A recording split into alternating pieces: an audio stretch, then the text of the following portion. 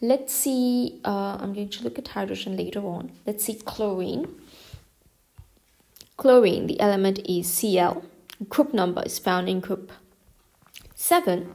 Number of outermost electron, there should be 7.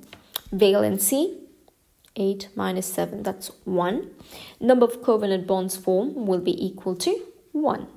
So when I'm drawing the, the skeletal diagram, I'm going to have chlorine. So there's two chlorine atoms. So chlorine 1 and chlorine 2. They form one covalent bond. So I'm going to draw that one covalent bond. And each one is going to contribute one electron. So one electron from chlorine red and one electron from chlorine blue.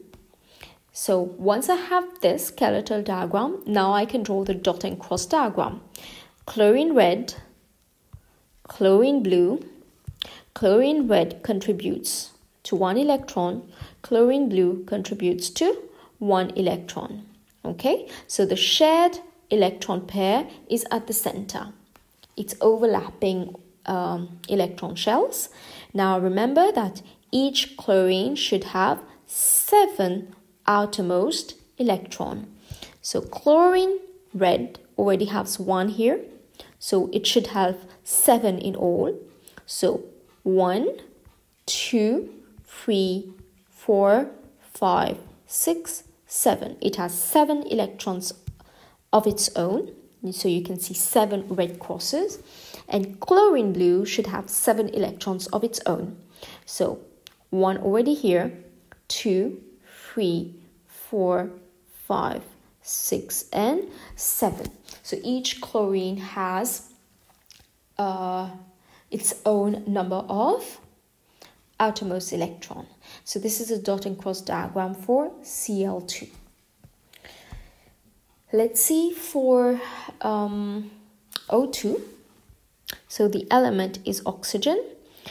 Uh, the group number is group 6 number of outermost electron is 6 valency is 8 minus 6 that's 2 so number of covalent bonds formed is 2 so there's two oxygen so i should have oxygen and oxygen. It should form two bonds. So let me have let me draw it here. So oxygen red oxygen blue oxygen each one is forming two bonds so double bond between them. And each bond is representing a pair of electron.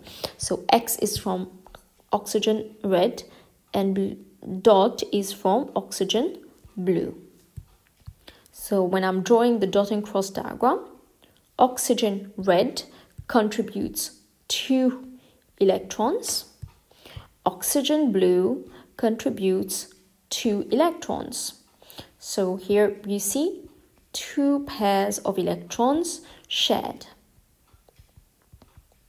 And each oxygen, oxygen should have six outermost electrons. So you should see six crosses. So there is one, two, three, four, five, six.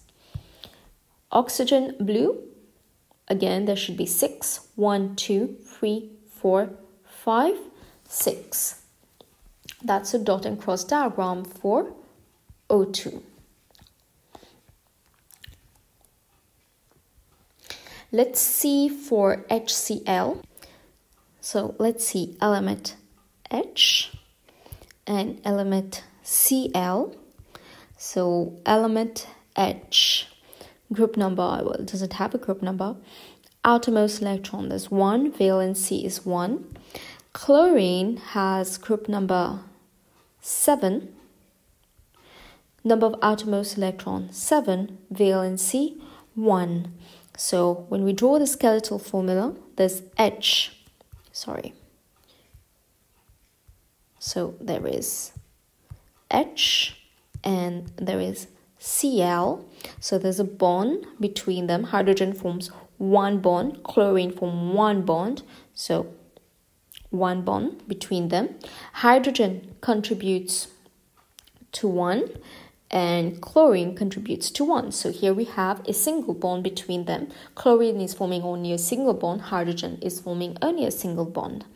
So when we have the dot and cross diagram, so we'll have the H here. I'm putting the H as a small one because hydrogen has only one shell. Chlorine here, they are forming, they are sharing one pair of electrons. So that's the dot from chlorine. That's the cross from hydrogen. Chlorine should have seven outermost electron, so there should be seven dots. One already there, two, three, four, five, six, seven dots. So that's the dot and cross diagram for HCl. Hydrogen has only one outermost electron, so that one cross is already there. You are going to try for HF because it's going to be the same as HCl.